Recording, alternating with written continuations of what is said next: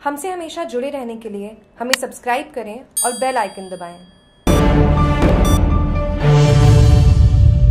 भिनमाल, क्षेत्रवासियों को पेयजल संकट से निजात दिलवाने की मांग को लेकर नगर वासियों द्वारा गठित नर्मदा संघर्ष समिति द्वारा प्रारंभ आंदोलन के तहत सोमवार को स्थानीय एसडीएम कार्यालय के समक्ष अनिश्चितकालीन धरना प्रदर्शन व हस्ताक्षर अभियान का शुभारंभ शुभ मुहूर्त में किया गया इसके बाद आंदोलन को आगे बढ़ाने के लिए प्रथम दिन श्रीराम सेना द्वारा पीएम व सीएम के नाम उपखंड अधिकारी को ज्ञापन सौंपा गया। इस अवसर पर बड़ी संख्या में नगरवासी मौजूद थे। मंगलवार को यूथ फॉर नेशन द्वारा पीएम व सीएम के नाम उपखंड अधिकारी को ज्ञापन सौंपा जाएगा।